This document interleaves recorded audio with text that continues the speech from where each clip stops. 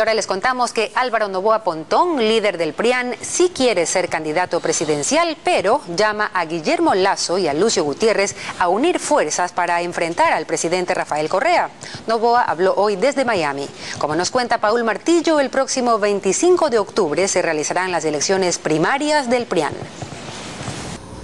Desde Miami, Álvaro Novoa convocó una rueda de prensa Vía Skype anunció que el próximo jueves 25 de octubre se realizarán las elecciones primarias del PRIAN.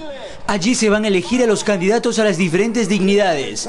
Novoa confirmó que participará para ser candidato a la presidencia. Es el único candidato.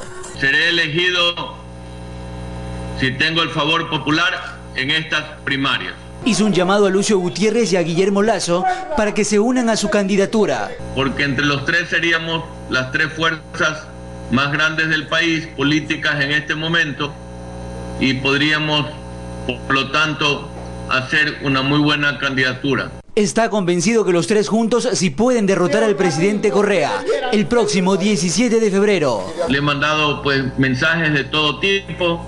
Eh, hoy mismo lo he llamado por teléfono.